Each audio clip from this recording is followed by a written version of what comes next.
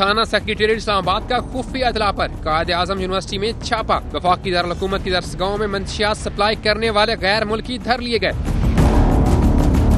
मुलजमान से 800 gram heroin 250 ग्राम cocaine और 300 gram चर्स बरामद। एसएसपी ऑपरेशन सैयद अमीन बुखारी कहते हैं, किसी को नौजवान नस्ल की जिंदगियाँ तबाह करने की इजाज़त नहीं दे सकते। पता चला कि एक इंटरनेशनल गैंग है।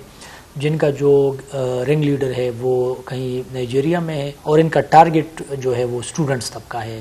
तो मुख्तलिफ़ यूनिवर्सिटी इस्लामाबाद के जो प्राइवेट यूनिवर्सिटीज़ हैं और यूनिवर्सिटी इसको ये टारगेट करते थे। बरामद होने वाली मंशियात की मालियत एक करोड़ पचपन लाख रुपए बताई जाती है। मुलजमान के खिलाफ मुकदमा दर्ज करके मजीद तफ्तीश शुरू कर दी गई। नूरुल अमीन दानिश, समा, इस्लामाबाद।